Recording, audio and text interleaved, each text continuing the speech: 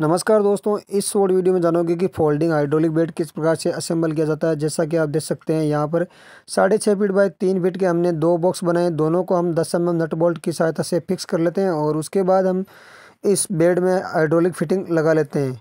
उसके बाद हम क्या करेंगे, इस बेड का जो हाइड्रोलिक टॉप है, वो हमने क्या किया है, दो पार्ट में बनाया जैसा कि आप देख सकते हैं, यहाँ पे इसको हम आठ एम नट बोल्ट की सहायता से फिक्स करेंगे और जब तक हम इसके नट बोल्ट टाइट करते हैं, तब तक आप हमारे इस वीडियो को लाइक करके चैनल को सब्सक्राइब कर लीजिए। फर्नीचर से रिलेटेड वीडियोज़ आपको हमारे चैनल पर रेगुलर मिलते रहते हैं।